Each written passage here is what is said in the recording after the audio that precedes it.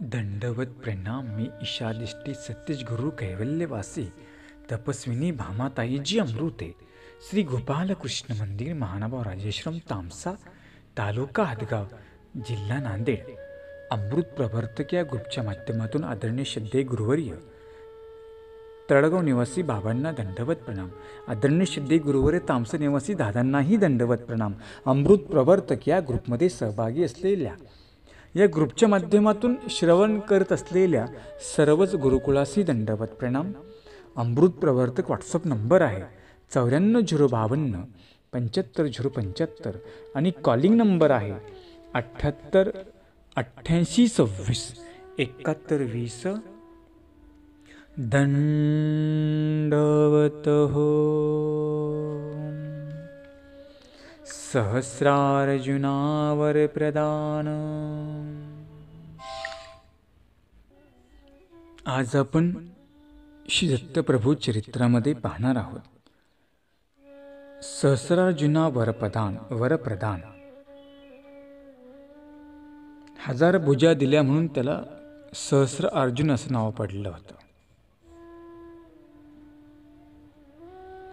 त्याचं पहिलं नाव जे होतं कार्तवीर्य असं होतं परंतु दत्तात्रय प्रभूंनी कार्तवीर्य राजाला हजार भुजा प्राप्त होतील असा वर दिला तेने करून त्याला सहस्रार्जुन नाव पडलेलं होतं. हा सहस्रार्जुन कोण होता आपण पाहणार आहोत? पुरवाचा पुत्र आयु.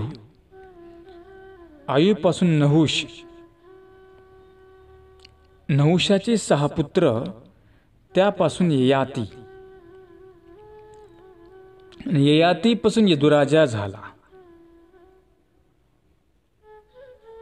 आणि यदुराजाला चार पुत्र होते. सहस्रार्जित क्रोष्टा नल आणि रिपू. सहस्रजिताचे तीन पुत्र मा है वेणू है आणि हय है. हययाचा पुत्र धर्म धर्माचा नेत्र नेत्राचा कुंती आणि कुंतीचा सोहजी. सोहज्जीचा महिष्णमान महिष्णमानाचा पुत्र भद्रसेन भद्रसेनाचे दोन पुत्र दुर्मुद आणि धनक धनकाचे चार पुत्र कृतवीर्या कृताग्नी कृतोजा. कृतवीर्याचा पुत्र हा अर्जुन होता. तो सातही द्वीपाचा एक छत्र सम्राट होता.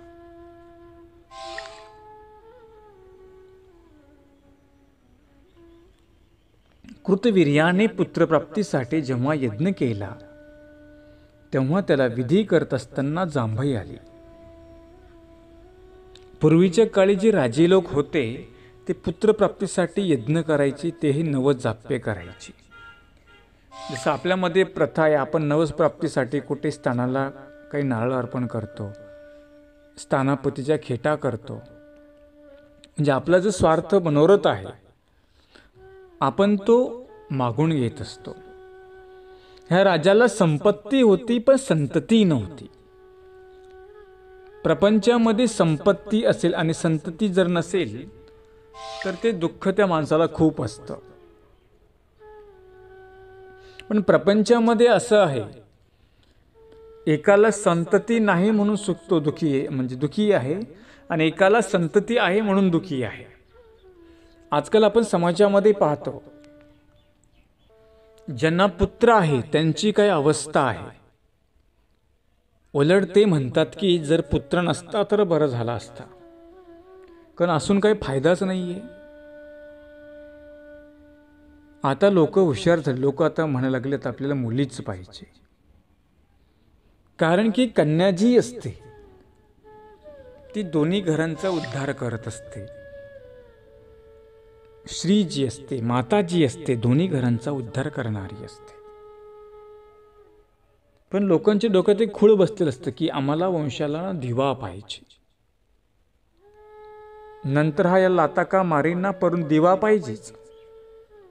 लोक क्षमा लोक समाजामधली परिस्थिती पाहतात तरी पण लोकांना त्या पुत्राचा मोह सुटत नाही. काही काही लोक आहेत ना मुली असले की ते समाधानी नसतात. परंतु सगळं आता उलटं होणार आहे. आता ज्यांना मुली ते समाधानी आहेत आणि जी मुलं त्यांना आता ती दुःखी आहेत. कारण स्त्रीकडे ममता सांगितलेली आहे पुरुषा कठोर सांगितलेला आहे. मुलगा तुमची सेवा करेल न करेल सांगता येत नाही गॅरंटी नाही. परंतु मुलगी मात्र सेवा करते ही समाजातली आत्ता ही परिस्थिती वास्तुस्थिती आहे. आता काही असे बिचाऱ्या माता आहेत काही मुली आहेत त्या आपल्या वडिलांना सांभाळतात. जे चांगले शिकलेले त्यांनी आपली मुलं आपल्या आईवडील घराच्या बाहेर काढून दिलेत. त्यांना वृद्धाश्रममध्ये पाठवलं. पण आत्ताही काही काही असे आहे मुली त्या आपल्या वडिलांना सांभाळतात. मग कशाला पाहिजे तुम्हाला मुलगा? जर मुलगी तुमची मुलाप्रमाणे कर्तव्य करते तर मग तुम्ही का मुलाची अपेक्षा करायची? आणि तिला त्या मुलीला का तुम्ही कमी दर्जा द्यायचा? नाही मुलींचा दर्जा पण आता उंच आहे. आमच्या स्वामींनी स्त्रियांना अधिकार दिला हजार वर्षापूर्वी गीतेने दिला. आमच्या स्वामींनी कलियुगामध्ये दिला. गोपालकृष्ण महाराजांनी द्वापारयुगामध्ये दिला दिलेला आहे. म्हणून जे डोक्यातलं आपलं खूळ आहे की मुलगाच पाहिजे डोक्यातलं काढून टाका. जरी तुम्हाला मुलगी असेल तर तुम्ही आनंदी राहा. तीच मुलगी तुमच्या मुलासारखी आहे. सगळ्या क्षेत्रामध्ये आम्ही पाहतो की स्त्रियांनी आघाडी घेतलेली आहे. मग आपण का पुत्रप्राप्तीचा अट्टास करायचा? कशापायी मुलगा पाहिजे असं आपण अट्टास करायचा? काही काही लोक तर म्हणाले समाजामध्ये ते मुलगा पाहिजे म्हणून काहीतरी तंत्रमांत्रकाकडे जातात आणि ते मागितलं की बळी देतात. पाठीमाग घटना घडली होती की एका बाईने आपल्या मुलीचा बळी दिला. तिला तांत्रिकाने सांगितलं की म्हणे जर तुला मुलगा पाहिजे असेल तर तुझ्या मुलीचा बळी दे मग तुला मुलगा भेटल. ती बाई पण अज्ञान होती. तिने मागचा पुढचा विचार न करता मुलीचा बळी दिला. त्या बाईला काही मुलगा झाला नाही. असे बळी देऊन कुठं मुलं होत नसतात. म्हणून आमच्यामध्ये जे आहे अंधश्रद्धा नाही आहे आमच्यामध्ये श्रद्धा आहे. पूर्वीच्या काळी पण राजे लोक यज्ञ करायची. म्हणून आपला जर कुठली काही इच्छा असेल आपले स्थानापती आहेत आपल्याकडे विधी आहेत आपण ते विधी केले पाहिजे. अन्य देवतेचा विधी करायचा नाही कुठल्या विकल्पाचा विधी करायचा नाही. जे काही करो क इथेचीच करो का आम्हाला शास्त्रकारांनी सांगितलेलं आहे. मग तुम्हाला अदृष्टपर पाहिजे असेल दुष्टपर पाहिजे असेल जे काही तुम्हाला लागत असेल ते आपल्या स्थानापती आहे आपला परमार्ग आहे. या ठिकाणी आपण ती विधी क्रिया केली पाहिजे. जसं आपल्यामध्ये पारायण करतात नामस्मरण करतात. म्हणजे काय? तो एक प्रकारचा यज्ञच आहे. ज्या ठिकाणी ज्ञान चर्चा चालते तो एक ज्ञान यज्ञच त्या ठिकाणी असतो. मला कुठले मला कोणी म्हणाले बाबा आम्ही आता फिरत फिरत प्रवचन ऐकतो चालेल का? म्हटलं नाही तो सुद्धा एक ज्ञान यज्ञ आहे. आणि यज्ञ हा एका जागी स्थिर बसून केला जातो. तपश्चर्या एका जागी बसून केल्या जाते. ती फिरून करायची वस्तू नाही आहे ज्ञान ही फिरून ऐकायची गोष्ट नाही आहे म्हणून वॉकिंगला चालले प्रवचन नका ऐकू. कुठं फिरायला गेलं प्रवचन नका ऐकू. प्रवचन हे तुम्हाला तुमच्या घरी बसून श्रवण करावं लागेल. तरच तुम्हाला गुण प्राप्त होईल. अन्यथा जर का तुम्ही चुकीच्या जागीच प्रवचन श्रवण करत बसला तुम्हाला दोष लागल. म्हणून तो सुद्धा ज्ञान ऐकणे एक प्रकारचा यज्ञ नामस्मरण करणे सेवा करणे एक प्रकारचा यज्ञ आहे. आपण विधी करतो म्हणजे एक प्रकारचा यज्ञच आहे. कृतवीर राजाने पुत्रप्राप्तीसाठी यज्ञ केला. यज्ञ करू लागला. आणि यज्ञ करत असताना त्याला जांभाई आली. जांभई देते वेळेस त्याने आपले दोन्ही हात तोंडासमोर धरले. आचमन न करता पुढील विधी करू लागला. दोन्ही हात अशुद्ध झाल्यामुळे त्याला तो पुत्र झाला. त्याचे दोन्ही हात थोटेच होते. बघा पवित्रता किती महत्वाची आहे. त्याने जांभई दिली पण हात धुतले नाही.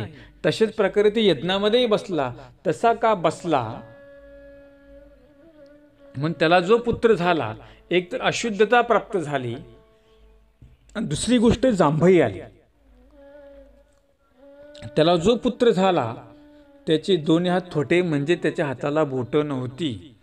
मग विचार करा आपण तो जर जीवासाठी यज्ञ करत होता आपण तर प्रत्यक्ष परमेश्वराची साधना करत असताना आपण किती पवित्रता पाळली पाहिजे? आपण देवपूजा करते वेळेस आपले जे हात आहे स्वच्छ प्रथमता धुतले पाहिजे. प्रथमतः ती टॉवेल ज्याला कर्मार्जन म्हणतात त्याला ती पुसली पाहिजे. पण त्यासाठी आपले हात पहिले चांगले पाहिजे. आपल्या डोक्याला रुमाल बांधला पाहिजे. नंतर आपला हात सवळे करून कपाळ पुसलं पाहिजे. नंतर आपण विशेष केला पाहिजे. अशा आपलं जे स्वच्छ हात पाय धुवून तोंड धुवून आपण मंदिरात प्रवेश केला पाहिजे. आपण जेव्हा जेव्हा देवपूजा करू तेव्हा तेव्हा आपण अशा प्रकारे विधी केला पाहिजे. हातपाय स्वच्छ धुणे हात पुसणे नंतर देवपूजा करणे. हात पुसायचा टावेल आपण तो वेगळा ठेवायचा त्याला कर्मार्जन असं म्हणतात. पवित्र विधी हा शुद्धतेने झाला पाहिजे.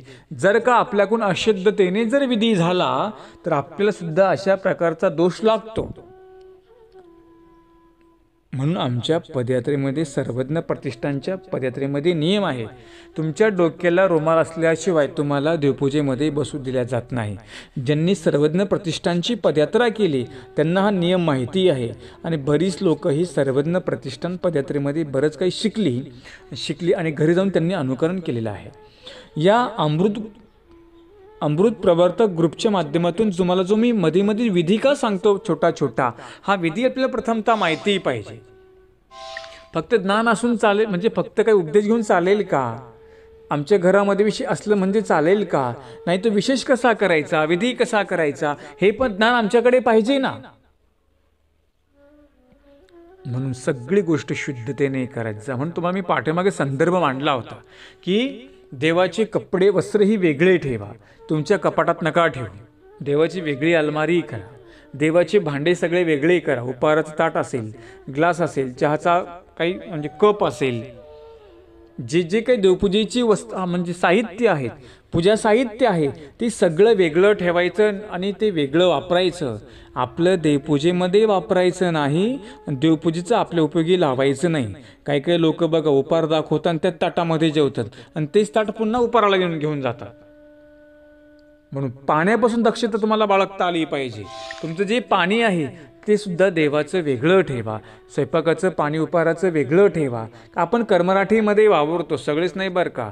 आता जे सुशिक्षित लोक ज्यांना जाणीव आहे ते बरोबर करतात परंतु जे काही अज्ञान आहेत ज्यांना काही जाणीवच नाही ते मात्र सगळं मग इकडचं तिकडं उष्ट तिकडचं तिकडचं इकडं उष्ट करतात. आणि तेच पाणी मग देवाला तेच पाणी स्वयंपाकाला आपलं उष्ट जातं. तेच पाणी आपण साधूला देतो. आपण ज्या तांब्याने पाणी पितो आपण ते साधूला देतो. लागेल ना दोष तुम्हाला? म्हणून सगळं वेगळं ठेवा. म्हणून आमच्यामध्ये एक प्रथा आहे की आमचे जे साधक आहेत ते तुमचं काहीच वापरत नाही. त्यांचं भिक्षापात्र त्यांचा ग्लास त्यांचे सगळं जे काही साहित्य असतं त्यांचं पटकर सुद्धा पाथराय पांघरायचं आमच्यासोबत असतं. मी एका ठिकाणी गेलो म्हटले बाबा तुम्ही आमचं काहीच म्हणजे वापर करत नाही. आमचे भांडे चांगले आमचं सगळं चांगलं आहे. त्यांना सांगितलं हा आमचा नियम आम्ही पात्रामध्ये खातो. आमचं सगळं साहित्य आमच्यासोबत असतं. त्यांनी सांगितलं बाबा आम्ही चांगल्या जातीचे आहोत. असं काही नाही. त्यांना म्हटलं बाई जातीचं नाही चाललं इथं काही. इथं आमचा विधी अशा प्रकारचा आहे. म्हणून जे काही सुज्ञ लोक आहेत ते आपल्या घरी साधक येतात म्हणून त्यांची वस्त्र वेगळी ठेवतात. त्यांची भांडी काही वेगळी ठेवतात. आमच्या परमार्गामध्ये साधू संतांची अधिकरणाची सगळं साहित्य भांडी वेगळी असतात. देवाचं साहित्य देवाची उपकरणं सगळी वेगळी असतात. कारण का? ही शुद्धता आणि पवित्रता आहे. ही शुद्धता आणि पवित्रता तुम्हालाही घरी करता आली पाहिजे. पाठीमागं मी चरित्रामध्ये सांगितलं होतं. पुनश्च तुम्हाला त्या गोष्टींची आठवण करून देतो. बरीच नवीन लोक या ग्रुपमध्ये ॲड झालीत. बरेच बऱ्याच ग्रुपला आपल्या लिळा जातात. अनेक त्या ग्रुपला नवीन लोक ॲड होतात. या लिळा यूट्यूबच्या माध्यमातून जातात. त्यांनाही माझा संदेश आहे की अशा प्रकारे तुम्ही सुद्धा शुद्धता आणि पवित्रता पाळा. देवपूजेची जेवढं जे काही उपकरणं असतील ते सर्व उपकरणं आपण वेगळी ठेवा. ही शुद्धता पाळा. जेव्हा तुम्ही स्थानवंदन करता देवपूजा वंदन करता तेव्हा मात्र डोक्याला रुमाल बांधून व्यवस्थितपणे हात व्यवस्थितपणे सोवळे करून देवपूजा वंदन करा स्थानवंदन करा. जो का विशेष आहे विधी करत असताना अशा प्रकारे काळजी घ्या. असा एक संदेश तुम्हाला मी या लिलेच्या माध्यमातून देतो आहे. दंड. अशुद्धता झाल्यामुळे त्याचे दोन्ही हात थोटे होते. ऋषी मुनींचा आदेशानुसार कार्तवीर्याने आपल्या नावाचं नाव अर्जुन ठेवलं. कृतवीर्याचा पुत्र म्हणून त्याला लोक कार्तवीर्य असे म्हणत राजा हळूहळू मोठा होऊ लागला. तरुण पदार्थ तरुण तारुण्यामध्ये पदार्पण केलं. आणि त्या अर्जुनाला कार्तवीर्याला आपले हात पाहून त्याला फार वाईट वाटायचं. त्याला वाईट असं वाटायचं माझ्याकडे सगळं वैभव आहे संपत्ती भरपूर आहे परंतु मला हाताची बोटे नाहीत. त्याच्या मनाला सारखी गोष्ट कुठेतरी त्याला दुःख द्यायची. आप अपंग होतं असं वाटायचं आपण दैवहीन आहोत. असा न्यूनगंड त्याच्या मनामध्ये झालेला होता. आपलं पण असंच होतं की नाही? सगळं काही आहे सगळी संपत्ती असते. पण म्हणतो बाबा पोरगत चांगलं निघालं नाही. फार व्यसनी निघालं.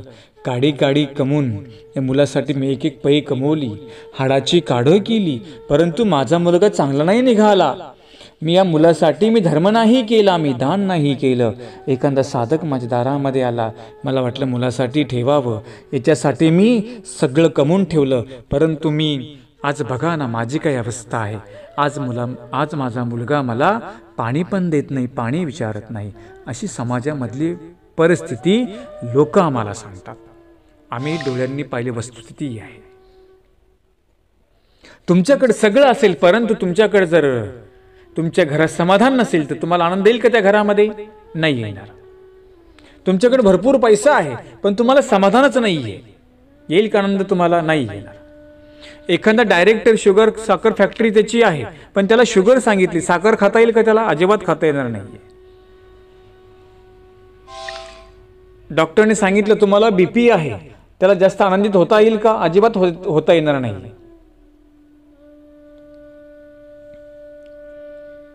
या राजाचं पण असंच झालेलं होतं. म्हणून मी तुम्हाला एक संदेश देतो. आपल्या मुलांना चांगल्या प्रकारे संस्कार द्या. त्यांच्यामध्ये आतापासून धर्म रुजवा. तुमचा मुलगा असेल किंवा मुलगी असेल आठा वर्षाची बारा वर्षाची झाली की त्यांना गुरुमंत्र उपदेश द्या. बघा ती मुलं चांगल्या प्रकारे घडली धर्मही चांगल्या प्रकारे चालवतील म्हणजे ग्रुपच्या माध्यमातून अशी काही काही मुलं बघितली असे काही काही मुलंही बघितल्या. इतकी निष्ठेने धर्म करतात. ही संपत्ती प्रत्येक आई वडिलांना आपल्या मुलांना देता आली पाहिजे. जेव्हा मी क्रियेच्या माध्यमातून आशीर्वाद देतो तेव्हा आम्ही उल्लेख जरूर करतो की ही संपत्ती आपल्या मुलांना द्या. जेव्हा मी लीळा सांगतो तेव्हा मी आवर्जून हा मुद्दा सांगतो आपल्या मुलांना मुलींना उपदेश द्या. कारण की त्यांना जर उपदेश दिला आत्तापासून तर त्यांच्याकडे देवाचं लक्ष राहील. देव त्यांना साह्य करेल. आणि ती धर्मसंपन्नता त्यांच्या ठिकाणी येईल. बघा तुम्हाला तुम्ही जीवनात तुम्हाला दुःख कधी भोगावं नाही लागणार. परंतु ज्यांची मुलं उपदेश घेत नाही घरात धर्म सांभाळत नाही ती मुलं मात्र वाईट वळणाला जातात आणि एक दिवस अशा काही खड्ड्यामध्येही पडतात तिथून ते परत निघू शकत नाही. हे दुःख आपण समाजात डोळ्यामध्ये पाहतो. या राजाला वाटू लागलं की माझ्यासारखा मी किती अभागी आहे. मला हाताची बोटं नाहीत या राज्याचा मला काय फायदा? सुखभोगाचा मला काय फायदा? यासाठी त्याने अनेक प्रयास केले. अनेक ऋषी मुनींच्या आश्रममध्ये गेला अनेक ठिकाणी फिरला. पण त्याचा हात कुठेच चांगला झाला नाही. त्याला हाताची बोटे कुठेच भेटली नाही. एक दिवस तो खिन्न होऊन बसला. विचार करत असताना श्री दत्तात्री प्रभूंची आठवण त्याला झाली. आणि मग त्याला त्याला माहीत होते की आपलं जे कुलदैवत आहे श्री दत्तात्रय महाराज आहेत ते माहोळगडावर निवास करतात. कुलदैवत म्हणजे कोण्या अर्थी? यदुराजाचा हा नातू. आणि यदुराजा कोण? श्री प्रभूंची भक्त.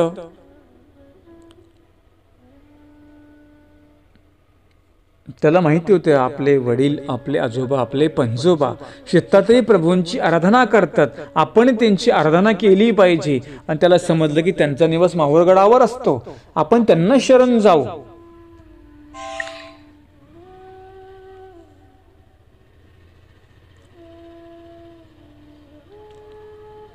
हे स्वामी श्री दत्त प्रभू तव चरणी शरण आलो महिमा तुझे कुनिया मी दास तुझा झालो. त्याच्या मनामध्ये विचारायला की आपण दत्तात्रय प्रभूंना शरण जाऊ. कारण की आपल्या कुळातील अग्रगणी महाराज यदुराजे त्यांचे अन्य भक्त होते. आपण त्यांनाच अनुसरू. अशी असा कृतवीर्याने मनाशी पक्का निश्चय केला. निश्चय करून तो सह्याद्री पर्वतावर आला. बघा हे सुद्धा समजलं पाहिजे. कोण्या वेळी काय करावं काय करू नये. तो कार्तिवी राजा हुशार होता. त्याला माहिती होतं आपले जे पूर्वज आहेत दत्तात्रय प्रभूंची भक्ती करतात. आणि त्यांना माहिती होतं राजाला माहिती होतं की दत्तात्रय प्रभूंना जो शरण जातो त्याला दत्तात्रय प्रभू कधीही रिकाम्याताने पाठवत नाहीत. आपलं सुद्धा सुचलं पाहिजे. जर काही आलं ना आपल्यावर अडचण काही आलं ना आपल्याला दुःख आपण पटकन स्थानापतीचा रस्ता पकडा. मार्गाचा रस्ता पकडा. तिथे विधी चालू करा. पण असं नका करू की जर तुमचं काम झालं की मग मार्ग सोडून द्या स्थान पण सोडून द्या. आपण तसंच करतो. सगळेच करत नाही काही जाणीव ठेवतात शेवटपर्यंत काही मधी सोडून देतात. ते म्हणतात की आता देव देवाने माझं काम केलं आता काय मला मंदिरात जायची गरज नाही आता काय मला बाबांना भेटण्याची गरज नाहीये. कार्तिवीर राजा हुशार होता. निश्चय केला सह्याद्री पर्वतावर आला. मेरूवाळा तलावाच्या काठी बसून त्याने दत्तात्रय प्रभूंच्या नामस्मरणामध्ये अनेक वर्षी तपश्चर्या केली. अनेक वर्ष दत्तात्रय प्रभूंच्या सन्निधानामध्ये राहिला. राहून त्यांनी सिद्धात्रेय प्रभूंची सेवा केली तपश्चर्या केली. सिद्धात्रेय प्रभू प्रसन्न झाले त्याला दर्शन दिलं आपलं सानिध्य दिलं. बघा अनेक वर्ष तपश्चर्या करावी लागली. मग शितातही प्रभूंनी त्याला आपलं दर्शन दिलं. कार्यवीर कार्यवीर्या कार्तवीर्याला फार समाधान वाटलं. दत्तात्रय प्रभूंची तो मनोभावे सेवा करू लागला. त्याची अपार भक्ती पाहून दत्तात्रय प्रभूंनी त्याला आपल्या सन्निधानामध्ये ठेवलं. एकदा दत्तात्रय प्रभू स्नान करून शिळा तळावर बसलेले होते. म्हणजे का शिळेवर बसलेले ते का पाषाणावर बसलेले होते. नुकतं स्नान झाल्यामुळे दत्तात्रय प्रभूंचा जी केस होती ती ओली होती. दत्तात्रय प्रभूंची केस ओले पाहून त्याला सुकवायचं आता. त्याने ते पाहिलं आणि कार्तवीर्य इकडे तिकडे धावपळ करू लागला. धुपटने त्याला काही दिसलं नाही. ह्या राजाकडे काय सेवा घेतली आणि दररोज प्रतिदिनी तत्रे प्रभूंच्या दररोज कार्तवीर राजा प्रतिदिनी दत्तात्रय प्रभूंचे केस सुंकवायचं काम करायचा. दत्तात्रय प्रभूंचं स्नान झालं की ते केस सुंकवायचं काम राजाकडे होतं. म्हणजे कार्तवीर्याकडे होतं. एक दिवस ते धुपटनच गायब झालं. धुपटनं त्याला दिसत नव्हतं. आणि त्याला वाटलं की अरे बापरे आता आपण एवढी वेळी वर्ष केलेली सेवा. जर आज झाली नाही तर आपली सगळी सेवा वायाला जाईल. ही सेवा आपली वायाला गेली नाही पाहिजे. आणि अपार श्रद्धेने भक्तिभावाने त्यांनी आपल्या हातावर विस्तवाची इंगळ आपल्या हातावर घेतले. आणि तो विस्तव शित्तात्रय प्रभूंच्या पाठीमागे ते केस पाठीमागे आणून तर सुगंधी धूप टाकला. द्रव्य टाकून द्रव्य टाकून सुगंधी धूप दाखवून तो विस्तव शित्तात्रय प्रभूंच्या केशकलापांना दाखवू लागला. हातावर हातावाचा विस्त हात विस्तो हातावर होता आणि हळूहळू त्याची कातडी जळून जाऊ लागली. पहिला सुगंधी वास आला पण नंतर त्याची जशी जशी कातडी जळू लागली की नाही तेव्हा त्याच्या हाताचा करपट वास येऊ लागला. शित्तात्रेय प्रभूंना करपट वास आल्यानंतर त्याची अपार भक्ती पाहून सेवादास्य पाहून शित्तात्रेय प्रभू हर्षित झाले. आणि कृपादृष्टीने अवलोकन त्याच्याकडे सांगितलं. अरे टाक टक अरे सांडी सांडी. टाकून दे टाकून दे हे काय करतोस? शिस्तात्रे प्रभूंना करपट वास येतो हे जाणून त्याने तात्काळ तो विस्तू टाकून दिला. नम्रतेने दोन्ही हात जोडून दत्तात्रे प्रभूंपुर समोर बसलेला आहे. त्याच्या डोळ्यामध्ये अश्रू आहेत. दोन्ही हात त्याने देवाला जोडलेली आहेत. देवाला माहिती असतं तुम्हाला काय पाहिजे ते परंतु तुम्हाला देवाला मागता आलं पाहिजे. जो देवासमोर रडतो ज्याच्या डोळ्यामध्ये अश्रू असतात की नाही? परमेश्वर म्हणतात की त्याला लवकर प्रसन्न होतो. कारण की तुमचा एक थेंब तुम्हाला बरंच काही प्राप्त करून देणार आहे. आता आपण काही पुरुष पाहतो त्यांच्या डोळ्या काही स्त्रिया आहेत बिचारा काही पुरुष आहेत. काही मुलं मुली आहेत त्यांच्या डोळ्यामध्ये क्रिया करताना अश्रू येतात. मी सुद्धा ग्रुपच्या माध्यमातून बरीच साधक बघितली म्हणजे ग्रस्त अनुयायी बघितली. त्यांच्या डोळ्या डोळ्यामध्ये अश्रू आहेत. जेव्हा ते बोलतात ते त्यांचं ओला म्हणजे त्यांचं गुण ओला मी पाहिला. जेव्हा ते बोलतात तेव्हाही ते रडत असतात. जेव्हा मी कधी कोणा संपर्क करतो तेव्हाच्या बोलण्यामध्ये किती किती नम्रता असते हो. हे कुठून तुमच्याकडे गुण प्राप्त झाला? हा ईश्वरीचा भजनीचा गुण तुम्ही तुमच्या जीवनामध्ये प्राप्त केलेला आहे.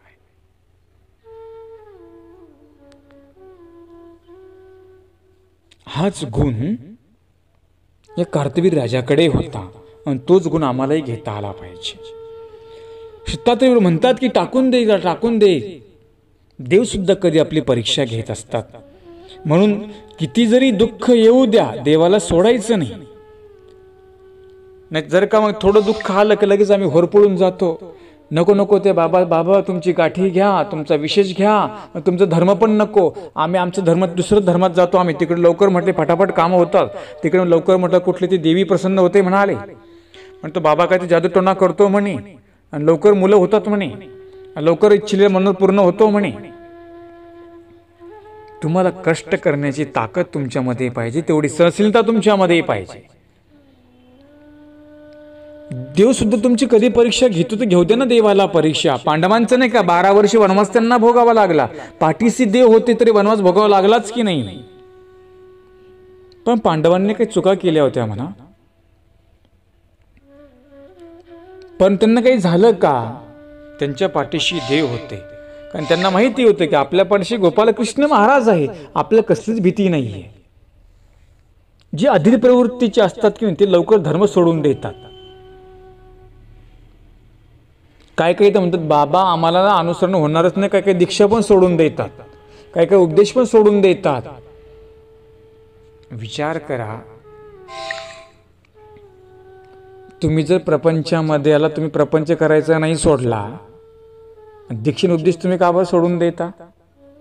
प्रपंचमध्ये किती कष्ट केले दुःख भोगले ते तुम्ही बरं सहन केलं. पण तुम्हाला देवा धर्मासाठी थोडा प्रसा थोडा फार त्रास सहन करायला नको का?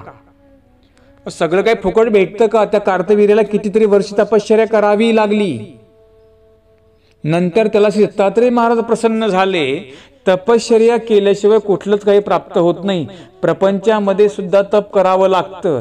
प्रपंचमध्ये सुद्धा एक प्रकारचा अग्नी तप आहे. ज्याने तो चांगल्या प्रकारे केला तो शेवट्याला जातो. ज्याने नाही चांगला केला तो मध्येच दळमळतो. म्हणजे मध्येच आत्महत्या करतो काहीतरी गळफास करून घेतो. ते म्हणलं नाही का? म्हटलं शेतकरी काय पिकल्यानं आत्महत्या करतात. तर म्हटलं मालाला भावच नाही एका व्यापाऱ्याने आत्महत्या केली. हे अधीर प्रवृत्तीचे लोक आहेत. आपलं अधीर व्हायचं नाही आपल्याला स्थिर व्हायचं आहे. कार्तवीर राजा स्थिर होता. त्याने सांगितलं काही असो माझे हात पडले तरी चालतील परंतु माझी सेवा व्हायला नाही गेली पाहिजे. असा प्रकार निश्चय कार्तवीर याने केला आणि त्यांनी विस्तू आपल्या हातावर ठेवला. आणि आपल्यामध्ये एक पद्धत आहे. दसांग धूप आपण दाखवतो धूप दीप देवाला दाखवतो की नाही आपण? इथे प्रतिदिनी तो प्रभूंना धूप दीप दाखवायचा आणि त्याची सुंकवायची सेवा करायचा. त्याची ती सेवा पाहून शितात्री प्रभू त्यांना प्रसन्न झाले आणि सांग म्हणतात की तुला काय पाहिजे राजा सांग. त्याने सांगितले दयाघना आपल्याला माहिती काय पाहिजे ते? आपण सर्व जाणते आहात. परंतु राजन तू तर माग तुला काय पाहिजे ते जीवाने मागितल्याशिवाय परमेश्वर काही देत नाही. मला तर सगळं शित्तात्रे महाराज मी सर्व जाणताच आहे. पण तू मागितलं पाहिजे ना. तू मुक्त कर काय पाहिजे ते. आणि मग दोन्ही हात जोडून शित्तात्रे प्रभूंना तो प्रार्थना करतो की आपणच जाणता काय पाहिजे ते. आणि काय दिलं? शित्तात्रे प्रभूंनी कार्तवीर्याला काय दिलं? हे आपण उद्याच्या भागामध्ये पाहणार आहोत. अशा प्रकारे कार्तवीर राजाने कशा प्रकारे सेवा केली कशा प्रकारे प्रसन्न करून घेतलं हे आपण लक्षामध्ये ठेवा. सेवेचं मूल्य आणि काय मागितलं हे तुम्हाला मी उद्या सांगणार आहे. दंडवत प्रणाम.